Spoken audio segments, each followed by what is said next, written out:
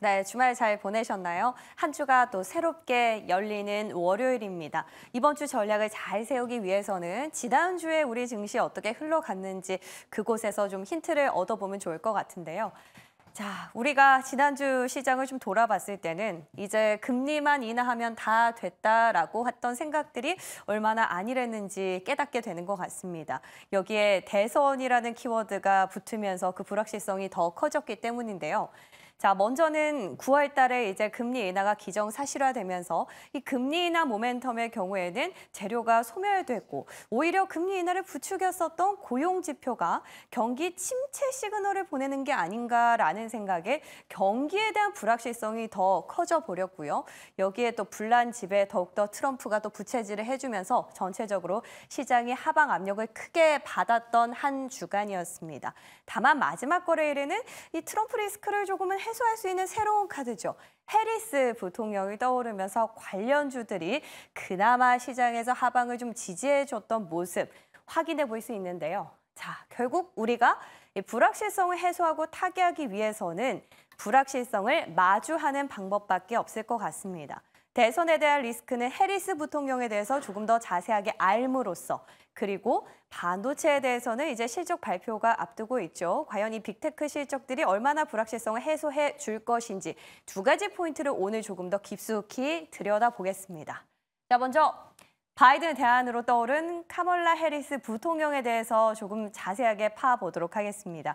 오늘 새벽이었죠. 이제 바이든 대통령이 후보직으로서 사퇴를 하고 전폭적으로 해리스 부통령을 좀 밀어주겠다라고 공표를 한 건데요. 자, 이미 그 전에 주말부터는 민주당 내에서 그리고 미국 내에서 바이든이 사퇴할 경우에는 해리스 부통령을 지지하겠다라는 표심들이 굉장히 많고 컸다라는 사실을 우리가 확인해 볼 수 있었습니다. 자, 그렇다면 도대체 해리스 부통령 어떤 사람이길래 이렇게 미국 내에서 전폭적인 지지를 받고 있는 걸까요? 먼저 그 부분부터 체크해 보겠습니다. 자, 일단 나이로서도 이미 승부수를 좀 띄워볼 수 있을 것 같습니다. 뭐 바이든 대통령이나 트럼프 후보보다 한 스무 살 정도 어린 해리스 부통령이고요. 과거에 캘리포니아주에선 검찰총장 그리고 민주당 상원 의원을 역임하고 현재는 미국 부통령으로서 재직을 하고 있는 상황인데요. 아, 먼저 최초의 미국 여성 부통령이라는 측면에서 여성에 대한 키워드 그리고 어머님이 또 인도 출신이라는 점에서 아시아계 또 흑인으로서 이렇게 정계에서 높은 지위까지 올라갔다는 점에서 여성 오바마라는 별명도 갖고 있습니다. 끝으로 검찰 출신이기 때문에 아무래도 사법 리스크를 갖고 있는 트럼프 후보의 최맞수로도 꼽힐 수 있는 부분이죠. 자, 이런 키워드 때문에 지난 거래일에 우리 시장에서는 해리스 부통령 관련주들이 상당히 큰 폭의 오름세를 확인할 수 있었습니다. 자, 먼저 마리화나죠. 어, 마리화나는 왜 뜬금없이 이렇게 올랐을까 싶으셨을 텐데요. 일단 민주당 당내 차원에서도 그렇고 해리스 부통령 스스로도 이런 wording을 했습니다. 바로 마리화나에 대해서 합법화를 추진하겠다라는 건데요. 이로 인해서 우리바이오는 심지어 상한가 그리고 에머리지와 오성 첨단 소재는 두 자릿수 넘는 상승폭 확인할 수 있었습니다. 자, 그리고 정말 오랜만에 남북 경협주들도 올라줬는데요. 2022년에 해리스 부통령이 우리나라에 방문을 했을 때 당시 DMZ에 가서 평화로운 한반도를 추구하겠다라고 발언을 한 게 다시금 회자되면서 남북 경협주가 오른 겁니다. 자, 근데 이 당시에 워딩을 조금 깊게 파보면요. 어, 일단 한국에 방문했기 때문에 한국과 우리 미국의 동맹을 더 강화하겠다. 그런데 이 한반도에 핵이 있기 때문에 북한이 완전히 비핵화를 해야만이 한반도는 평화를 유지할 수 있을 것이다라는 워딩이 전체입니다. 때문에 그저 어, 한반도가 평화롭게 바란다라는 비둘기적인 성향의 인사라는 건 아니라는 점을 좀 기억을 하셔야 될 것 같고요. 끝으로 친환경입니다. 아, 친환경 주들 가장 피해주로서 많이 시장에서 주목을 받았었는데 마지막 거래일에는 색다른 포인트로 좀 접근을 해봐야 됐었죠. 심지어는 트럼프 대, 전 대통령이 이제 전기차 의무 조치를 종료할 것이다라고 밝힌데도 불구하고 친환경 주들이 올랐는데 물론 바이든 정부에서 전기차 의무 조치를 강행한 건 없지만 그래도 전기차 판매량을 더 늘리는 이런 기조로 향하고 있었기 때문에 이 부분에 대해서 조금 압박을 하겠다라는 발언이 있었음에도 불구하고 어, 시장은 해리스의 카드에 조금 더 손을 들어줬습니다. 또 뿐만 아니라 해리스 부통령이 과거에 조지아주에 있는 한화솔루션 공장을 방문했던 사실이 다시금 또 시장의 환기가 되면서 어, CS 윈드 그리고 한화솔루션 끝으로 2차 전지 셀과 소재 그리고 장비 단까지 전체적으로 상승하는 모습 확인을 할 수 있었다는 거죠. 자, 우리가 이런 사실로 미루어 봐서 당장 바이든 대통령이 후보직을 내려놨다고 해서 해리스 부통령이 민주당을 대표하는 대선 후보가 되는 건 아닙니다.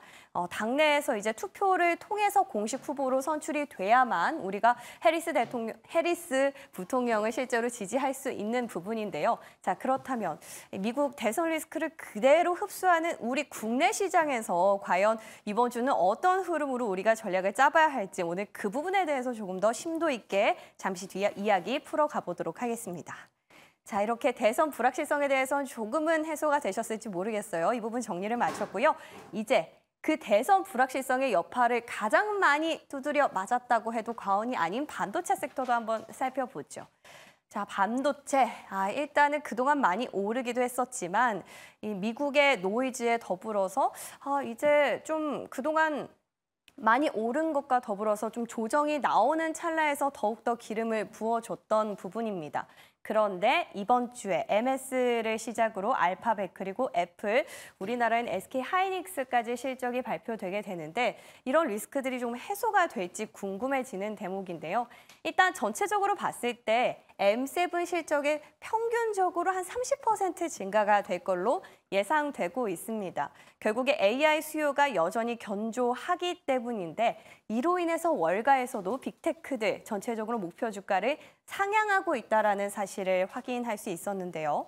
다만 이제 방향성은 AI 쪽이 맞지만 그동안 주가 오름폭을 봤을 때 너무도 가파른 기울기였기 때문에 이 부분이 다시 제자리로 돌아오기 위해서는 일정 부분 조정이 필수적이다라는 모건 스탠리의 분석도 있었습니다. 자, 근데 이에 당당히 맞서듯이 우리 기업들은 좀 다른 행보를 보였어요.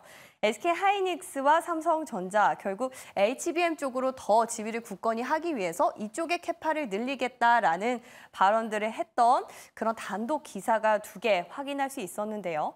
자, 이 부분들과 분석과 실적과 모든 것들을 다 통틀어서 아울러 봤을 때 우리는 두 가지 정도 기억을 할 수 있을 것 같습니다. 자, 첫 번째, 미래 시점. 그러니까 미래에서 우리가 AI 반도체 쪽으로 나가야 하는 부분, 하나 확인할 수 있고요. 그리고 두 번째는 현재 시점에서 나오는 경기 지표들을 봤을 때는 경기 침체나 경기 둔화 우려에 대한 시그널들을 확인할 수 있다라는 겁니다. 그럼 우리가 현재에서 미래로 걸어 나가는 걸음에 있어서 이 걸음이 조금 늦춰지는 건 아닌가라는 우려가 나오고 있는 걸로 시장을 조금 해석해 볼 수 있을 것 같은데요. 때문에 그만큼 중요해지는 게 바로 가이던스입니다.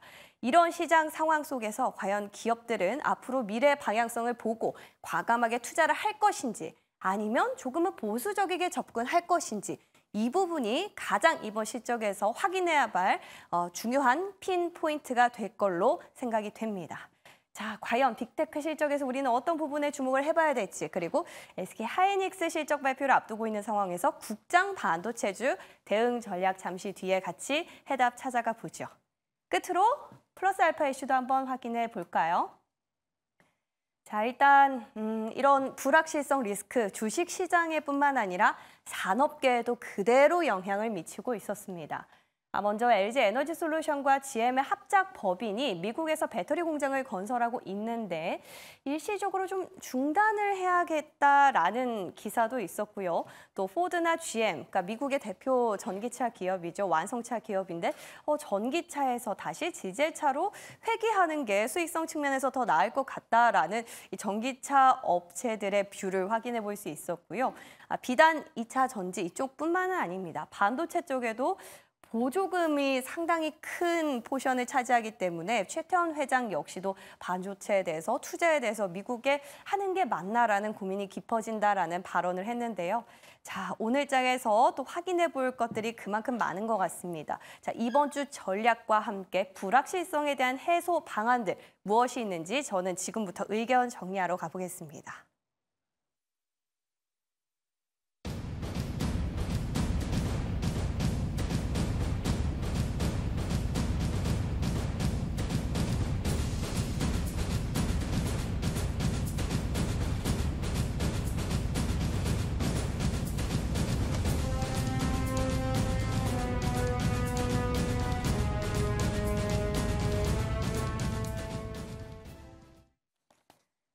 월요일 아침입니다. IBK 투자증권 강남센터 김용빈 주임 그리고 이코노미 리서치 이슬이 대표 모셨습니다. 어서 오십시오. 안녕하세요. 네, 주말 잘 보내셨나요? 네. 좀 피곤해 보이시는 것 같은데. 아, 놀다 와가지고. 아, 그렇구나. 네, 또 휴가철일 텐데. 아, 휴가도 마음을 좀 가볍게 갈 수 있어야 휴가가 될 텐데, 지난주 우리 시장 돌아보면은 절대 좀 가벼웠다라는 표현은 맞지 않을 수도 있을 것 같다는 생각이 듭니다. 지난주는 트럼프였고, 이번 주는 또 새로운 키워드로 해리스 부통령이 아, 지난주 막판부터 좀 떠올랐는데, 오늘 새벽에 진짜 당장 기사가 나왔거든요. 어, 그러면 좀 의견 좁혀질까요? 해리스 쪽으로 시장 방향성을 어떻게 점쳐보세요? 어, 일단은 바이든 사태론이었었죠. 지난주까지는 음. 바이든 사태론이었었는데 사실 오늘 새벽에 이제 결정이 거의 났습니다. 해리스 네. 쪽으로 이제 어, 부가국이 되- 된다라고 봐야 되는 거고 일단 지난주부터 이제 이쪽 관련 해리스 관련 테마는 계속적으로 좀 움직여 왔다라고 일단은 볼 수 있겠는데요. 네. 일단은 지난주에 특히 움직였던 종목들을 보시면 아까 아나운서님께서도 말씀을 해주셨지만은 네. 일단 뭐 테마로서는 마리화나 관련주들이 있었고 예. 그리고 특히 국내에서도 2차 전지라든지 어, 신재생 관련 에너지 종목들이 상당히 좀 많이 우수했었다라는 부분이고요. 사실 신재생 쪽이 왜 어, 뭐 해리슨의 이제 대표 주냐라는 부분을 봤을 때 사실 이 바이든에 대한 정책 기대감을 연장한다라는 부분으로 봤을 때는 네. 어, 이해가 된다라는 부분이고요. 왜냐하면 지금 사실 반대쪽인 이제 트럼프 쪽에서도 친환경에 대해서는 특히 IRA 쪽에서는 특히 너무나 다 폐지를 하겠다라고 강력하게 좀. 주장을 해버리는 부분이니 예, 예. 사실 이 해리슨이 된다면 사실 이런 부분에 대한 노이즈는 상당히 좀 없어진다라고 네. 음. 시장에서 좀 기대를 하는 것 같고요. 그리고 사실 이 어떤 쪽에 베팅을 해야 될까 이겨야 될까 네. 그런 쪽으로 좀 테- 어, 데이터적으로 좀 접근을 해본다면은 음. 일단은 트럼프와 이제 해리스의 양자 대결 구도로 이제 접근을 해봤을 때요. 네. 사실 이 바이든의 바이든과 봤을 때는 여론조사에서는 5%표 이상 차이가 꽤나 많이 났었습니다. 근데 음. 이 해리슨과의 양자 대결 구도로 이제 따져봤을 때는 한 3% 차이로 좀 상당히 좀. 많이 근소하게 줄어든다라고 볼 수 있겠고요. 네. 사실 이런 부분이 그러면 해리스 쪽에 어느 정도 베팅을 해봐야 되는 것이 아닌가 오늘은 단기적으로 그렇게 생각을 할 수 있겠지만은 음. 좀 장기적으로 봤을 때는 사실 아직도 트럼프가 유효하다라는 쪽으로 음. 좀 봐야 될 것 같고요. 그리고 일단 뭐 베팅 사이트 자체에서도 아직도 트럼프가 이제 암살 시도를 당했을 시절에 이제 음. 당선 확률을 아직도 국권이 유지를 하고 있기 때문에 네. 일단 트럼프 트레이드 쪽으로 계속적으로 그래요? 좀 접근을 해봐야 되지 않나 아. 싶고요. 그러면 이 시장 내에서 어떤 종목을 좀 선별을 해야 될까? 사실 트럼프 트레이드를 어, 들어간다 해서도 음. 이 해리스의 뉴스가 나올 때마다 사실 좀 조정을 받을 수 음. 있는 그런 부분도 있기 때문에 그렇게 따진다면 미 대선에 따른 좀 변동성을 좀 축소를 할 수 있는 음. 그런 쪽 섹터를 좀 고르는 것이 좋지 않나. 또는 이제 트럼프 트레이드 이렇게 음. 한번 가봐야 될 것 같은데 그 섹터 내에서는 특히 좀 일부 둘 다 좀 정치적인 부분과 상관없는 쪽 섹터들이 국내에도 몇 개 있습니다. 특히 일단 바이오 쪽을 한번 볼수 어, 있겠고요. 예. 그리고 바이오는 뭐 사실 어, 두 후보 간에 네. 계속적인 노이즈가 있었어도 이때까지 음. 시장에서 좀 주도를 해주는 느낌. 예. 그리고 조선 같은 종목도 사실 크게 이슈는 없을 것이다. 일단 실적도 견조한 부분 부, 분도 네. 있고요. 그리고 뭐 지난번에 좀 얘기를 했었지만 사실 엔터 쪽에서도 많이 과대 낙폭이 됐었기 때문에 엔터요? 이 네, 오. 엔터 쪽에서도 일단은 두 후보 간의 뭐 경쟁이 사실 우리나라에 크게 영향을 미치지 않을 것이다. 이런 부분으로 봤을 때 이 세 개의 섹터를 한번 좀 집중을 해봐도 괜찮지 않을까 이렇게 생각하는 부분입니다. 네, 생각해 보니까 바이오 쪽은 트럼프 수혜로 꼽히기도 하지만 이제 해리스 부통령이 여성 오바마로 불리고 있다는 측면에서 오바마 케어 가또 그렇죠. 있었잖아요. 네. 그 부분이랑 좀 연결고리를 찾아볼 수 있지 않을까라는 생각도 맞습니다. 드는데 네.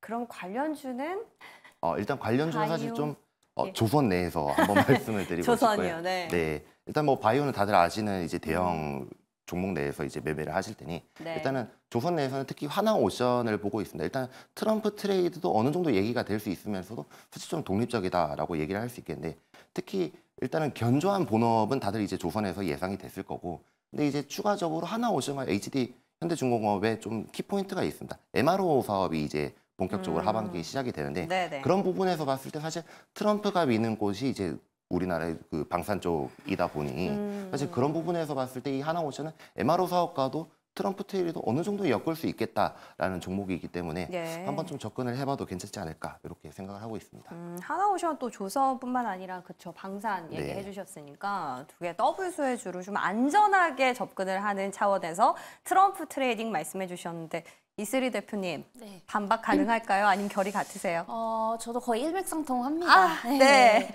왜냐면은 지금 이제 그 바이든이 이제 사퇴를 하면서 아무래도 이제 해리스 부통령이 이제 그 후보가 될 가능성이 상당히 지금 높아진 상황입니다. 음. 네, 그런데 이제 지지율이 이제 굉장히 좀 중요하겠죠. 근데 이게 지지율을 보면은 사실상 이제 그 해리스로 바뀐다라고 하더라도 네. 트럼프를 이기기는 좀 쉽지 않을 것이다. 아, 네, 이렇게 좀 보고 여전히 격차가. 좀 있어서 요? 네네.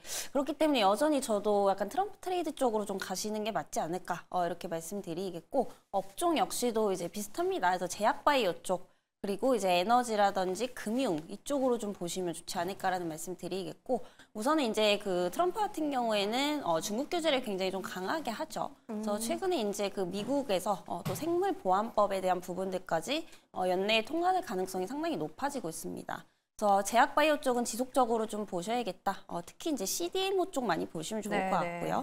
그리고 금융 쪽도 최근에 이제 실적에 대한 부분들까지도 좀 받쳐주고 음. 있는 상황이기 때문에 금융주 쪽도 좀 보시면 좋을 것 같습니다. 어, 왜냐면은 이제 트럼프 같은 경우에 또 이제 금융 규제를 항상 또 완화시키는 이런 정책들을 많이 음. 펼치는 거거든요. 그래서 뭐 경기 부양에 대한 부분들도 항상 뭐 바이든 쪽보다는 훨씬 더 미는 상황이기 때문에 이 금융 규제에 대해서 굉장히 좀 자유로울 수밖에 없다라는 점에서 어, 은행주들도 한번 트럼프 트레이드 관점에서 좀 보시면 좋지 않을까라는 말씀드리겠고 네. 네, 그리고 최근에 이제 미국에서 이제 은행의 이런 주요 실적들이 나왔어요. 근데 굉장히 좀 좋게 나왔죠. 특히 이제 시장이 예상하는 것보다 훨씬 더 좋게 나온 상황인데 우리나라 같은 경우에도 사실 미국과의 어떤 금리 방향성이 거의 비슷하기 때문에 이런 재무적인 변화도 거의 비슷하게 흘러갈 수밖에 없습니다. 그래서 우리나라의 지금 이제 4대 금융지주사들을 보게 되면은 지금 2분기 실적이 굉장히 좀 좋게 나올 것으로 네, 좀 판단이 되고 있죠. 그래서 작년에 이제 그 ELS 사태에 대한 부분들도 어느 정도 좀 해결이 됐습니다. 그래서 이게 지금 환입 폭이 이제 굉장히 좀 클 것으로 보고 있기 때문에 어, 4대 금융사들 이제 계속 보시면 좋을 것 같고요. 또 이제 그 주주 환원 정책에 대한 부분들도 지금 이제 은행 쪽에서 굉장히 적극적으로 좀 시행을 하고 있습니다. 그래서 여기서 좀 탑픽을 꼽아보자면 네. 그 중에서 이제 KB금융을 좀 보시면 아, 좋을 것 같아요. 다시 대장으로. 네. 지금 이제 그 리드를 뺏겼죠. 일단 신한 쪽에. 이게 어쩔 수가 없는 게 ELS 배상액이 가장 컸었습니다. 아. 8천억 대가 이제 넘었었는데 신한 쪽보다 한 세 배 정도 많았다. 근데 그만큼 지금 이제 환입액은 오히려 더 클 것으로 보고 있기 때문에 어, 이런 2분기 실적이 충분히 좀 기대가 되지 않을까라고 보고 있는 상황이고요. 어, 그리고 지금 이렇게 주가상으로 많이 올랐음에도 불구하고 어, PBR로 보면은 여전히 0.6배 수준밖에 안 됩니다. 그래서 지금 우리가 좀 가격이 아니라 가치를 본다면 여전히 좀 저평가되어 있는 상태이기 때문에 어, 금융주들도 한번 좀 눈여겨 보시는 게 좋지 않을까라는 말씀 드려보도록 하겠습니다. 음, 그러니까 트럼프랑 해리스 구도에서는 여 전히 트럼프다라는 데는 의견을 같이 하셨지만 사실 우리가 미국 기업들 실적 봤을 때 늘 잘 나오는 건 은행 쪽이었는데 그거에 대한 흐름을 우리가 좀 못 받았잖아요. 근데 밸류업 관련해서 우리 시장에서 금융주들 굉장히 약진을 하고 있기 때문에 이 측면 우리가 잠시 잊고 있었는데 굉장히 좋은 투자 포인트가 되지 않을까라는 생각이 듭니다. 어, 대선 얘기하니까 제가 지난주 월요일 갑자기 기억이 났어요. 우리 네. 주임님께서 어, 그 관련해 가지고는 희토류가 오늘 좀 반짝 상승할 수 있지 않을까라는 코멘트를 했었던 기억이 났는데 네. 음, 이거는 좀 어디까지나 trading이겠죠? 일단은 trading 테마로서 봐야 네. 되는 부분이고 왜냐하면 사실 국내 희토류 관련주 내에서는 이제 해외와 따졌을 때 사실 좀 본격적으로 실적을 어, 확실하게 내는 명백한 기업은 좀 어, 흐지부지하다라는 부분이고요. 사실 이 희토류 테마가 그날 좀 어, 갭상 갭상승으로 좀 크게 올랐었었지만 좀 다 네.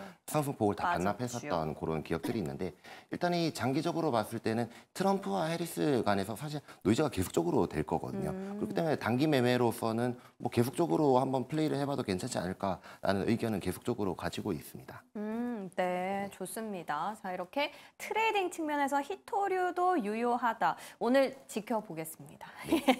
네, 이제 이 정도로 마무리하고요. 이제 big tech 이제 반도체 얘기를 좀 넘어가 볼게요. 진짜 실적 발표가 임박했는데, 오, 제가 보니까 저는 당연히 HBM 때문에 AI 쪽이 좋다라고 생각하고 알아봤는데, 오, 생각보다 실적이 그러니까 숫자만 봤을 때 팩트는 나쁘지 않은데요. 월가에서 반응들이 좀 심상치가 않아요. 진짜 거품이 이제 빠지는 게 시작됐다. 근데 시장은 항상 한 발 빠르잖아요.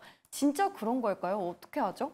어, 일단 실적적으로 얘기를 네. 보자면 저희 지금 빅테크 중에서는 M7이라고 하죠. 예, 예, 예. 실적 쪽에서는 일단은 뭐 그들은 나쁘지 않더라고요. 좋을 수밖에 M7 은. 없다라고 얘기를 하고 있고 그리고 사실 그 AI에 대한 모멘텀에 있는 부분들이 다 M7에 다 몰려 있다라고 그런 부분을 봤을 때 사실 실적적인 부분에서는 걱정할 것이 없다. 근데 사실 앞으로 노이즈는 좀 생각보다 있을 수 있다라는 게 어, 먼저 부분에서요? 말씀드리고 싶은 부분이고요. 네. 어, 특히 일단은 어, AI에 대한 투자가 계속될 것이냐에 대한 그런 이슈인데 아, 물론 이 특히 EU에서 같은 경우에도 예. 이제 그 big tech에 대한 규제를 조금씩 들어가기 시작했고요. 음. 최근에 안 그래도 애플과 메타 같은 경우에도 EU에서 이 AI에 대한 그런 규제라든지 맞아요. 그런 big tech에 대한 규제들이 들어가게 되면서 사실 이 AI가 좀 제대로 투자가 안 될 수도 있겠다 그런 저는 좀 느낌을 살짝 받았었고요. 어, 또 뿐만 아니라 사실 이 트럼프가 이제 만약에 당선이 됐을 때 얘기를 해보자면 사실 이 big tech에 대한 규제가 좀 생각보다 내려질 수밖에 없는 이 정책적인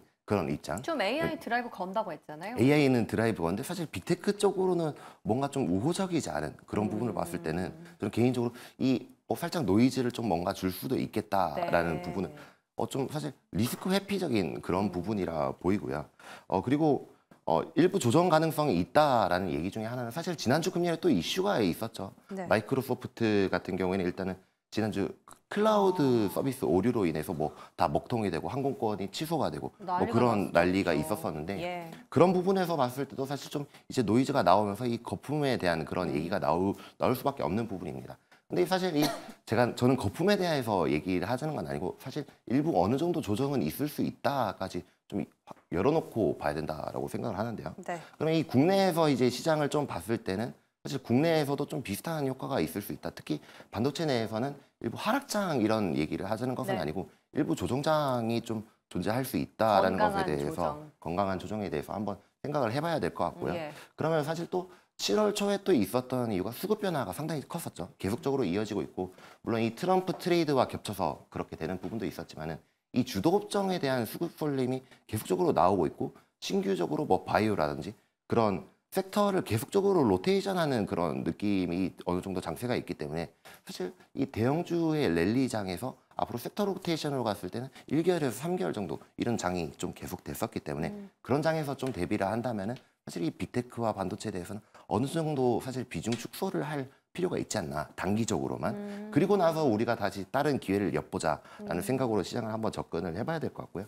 그래서 시장 전체적으로 좀 접근을 해봤을 때는 일단 트럼프 트레이드 및 또는 이제 수급 변화에 따른 섹터 로테이션에 도- 들어오는 그런 섹터들 사실 앞에서 섹터에 네. 대해서는 말씀을 드렸기 때문에 네네. 그 부분에 대해서는 일단 뭐 이변이 없을 거다라고 생각을 하고 있습니다. 음, 지금 일시적인 어, 또 포트폴리오에 약간 조정은 필요하나 펀더멘털의 훼손은 아니다. 근데 제가 여쭤봤더니 삼성전자 주셨거든요. 네. 삼성전자는 어, 일단- trading은 어, 반도체 내에서 네. 말씀을 해주셨기 때문에 일단 예. 삼성전자 자체도 일단 비중을 줄일 필요 있다라는 오, 생각은 아직 확실히 그래요. 해보이고요. 근데 만약에 우리가 다시 또 반등장에 아니면 반도체 호황장에 한번 다시 왔을 때는 음. 다시 한 번 더 줄 수 있는 종목은 일단 삼성전자다라는 부분입니다. 어. 왜냐하면 사실 다른 종목들 대비해서 valuation 부담이 상당히 낮습니다. 지금 반도체 내에서도 낙폭이 좀 많이 심하다라고 부- 어, 되는 종목들이 다 valuation 부담이 상당히 좀 많은 종목 위주다라고 이런 부분에서 봤을 때는 그런 부분에서는 삼성전자가 가장 좀 양호하다라고 보이는 부분이고요. 네. 어, 특히 일단은 본업에 대한 반도체 가격 상승에 대한 그런 부분은 일단 확실하고 앞으로도 실적에 대해서는 의심할 여지가 없다라고 좀 생각을 하고 있는데 일단은 어, 삼성전자를 말씀드린 이유는 섹터 내에서는 밸류네이션 매입도가 상당히 크게 존재한다라는 부분 때문에 일단은 얘기를 드리고 싶습니다. 네. 뭐 시기적으로는 근데 지금은 아니고요. 앞으로 좀 건강한 조정이 좀 다 끝났다 싶었을 때는 다시 한 번 더 저희가 기회를 줄 수 있는 종목이지 않을까라고 생각하고 있습니다. 이슬이 대표님은 이 주장에 대해서 어떻게 생각하세요? 지금 당장은 조금 비중을 줄이자. 반도체. 네, 일단은 리스크는 조금 피해야 되지 않을까. 저도 이렇게 좀 보고 있고요. 음. 그래요. 우선은 지금 노이즈가 나오고 있는 것 자체가 예전보다는 조금 모멘텀이 많이 약화가 되고 있는 게 음. 아닌가 이렇게 판단이 되고 있고요. 아까 뭐 앵커님도 말씀 주셨지만은 사실 실적 자체는 다 좋거든요. 네. 특히 이제 뭐 빅테크 기업들 IBM이라든지 앞으로 관련된 뭐 M7 관련 기업들도 마찬가지고 뭐 테슬라 어 그리고 알파벳 등 어 이번에 이제 2분기 영업이익이 이제 예상치보다는 좀 좋게 나올 것으로 보이고 있는 상황인데 문제는 뭐냐면은 지금 이 AI 관련 투자자분들의 이런 실적에 대한 눈높이가 굉장히 많이 높아져 있다라는 거예요. 그래서 과거 같은 경우에는 사실 이제 AI 관련 기업들이 실적이 안 나와도 이제 기대감으로 많이 네. 올랐었거든요. 근데 이제 최근 들어서는 이제 너무 이제 실적이 또 잘 나오다 보니까 이 기대치가 굉장히 많이 높아져 있습니다. 그래서 지금 실적 자체가 좋게 찍히는 게 중요한 게 아니고 어, 시장이 예상하는 것보다 훨씬 더 어, surprise로 나와주느냐 여기에 좀 초점을 맞추셔야 될 것 같습니다. 그래서 그만큼 이제 그 기대치가 많이 높아져 있다라고 좀 보시면 될 것 같고요. 어, 그리고 이제 트럼프 리스크가 또 여전히 있습니다. 뭐 실적에 대한 기대감도 있지만 아무래도 이제 반도체 관련해서 어, 규제가 계속해서 좀 있다라고 하면은 이게 중간중간에 노이즈가 또 나올 수밖에 없는 그런 부분이거든요. 이런 부분들을 봤을 때 우리가 단기적으로는 조금 리스크를 회피하자 어, 이렇게 좀 말씀드리도록 하겠고 또 이제 미국의 어떤 big tech 실적도 중요하지만 네. 우리나라도 지금 중요합니다. 그죠. 네, 이제 삼성전자는 이미 나왔죠. 음. 그리고 삼성전자가 이제 올랐던 이유를 보면은 이제 실적이 개- 애시당초에 이제 영업이익이 한 8, 어, 8조 원 정도로 이제 예상이 됐었는데 훨씬 더 많이 나왔습니다. 어, 막상 뚜껑을 열어보니까 10조 원대가 넘게 나왔죠.